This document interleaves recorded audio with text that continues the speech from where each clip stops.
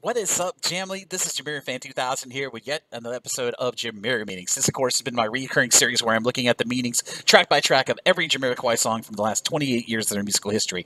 Here in episode 60, as I've been doing for the last few episodes of Jamiro Meanings, I'm looking at Jamiroquai's 2005 album Dynamite. And here in episode 60, as I said, we're going to be looking at the song Black Devil Car, which we know that Jamiroquai and JK have had a great synonymousness with very fast, high performance exotic cars. And Black Devil Car is yet another song that illustrates JK's love for very, very fast living and very, very fast cars.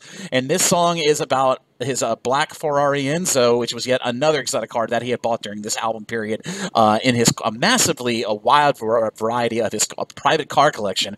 But it's basically a song about that euphoria, that white knuckle ride, to use a single name from an upcoming album that I plan to doing a Jamiro Meanings episode, uh, Jamiro Meanings uh, part of the series about. But uh, that white knuckle ride, that great euphoria that comes with driving a very, very fast car. Now, you can also take the song as a bit about a black devil car being a woman because we know a good majority of the album uh, Dynamite does circulate around relationships and ladies. So the Black Devil, the Black Devil car itself could also be about a very, very fast lady too.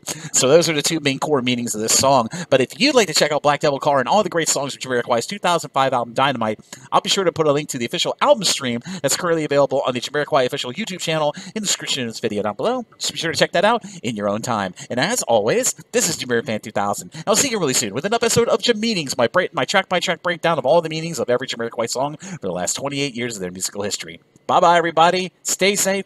Happy holidays.